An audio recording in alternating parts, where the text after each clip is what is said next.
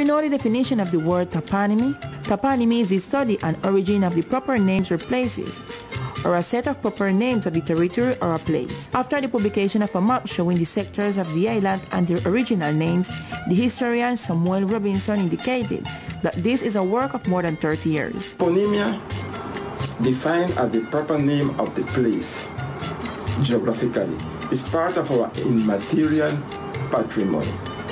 It's a way to preserve part of our identity, to preserve our history, and identify us as a culture, as our culture.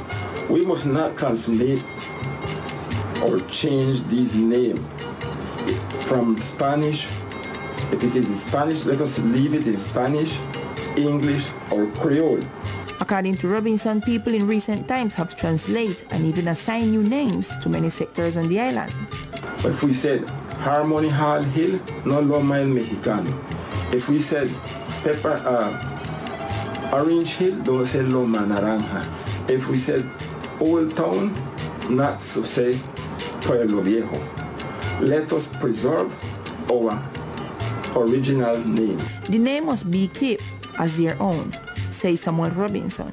Besides that, each sector carries in its name its essence and the reason why it's called that way.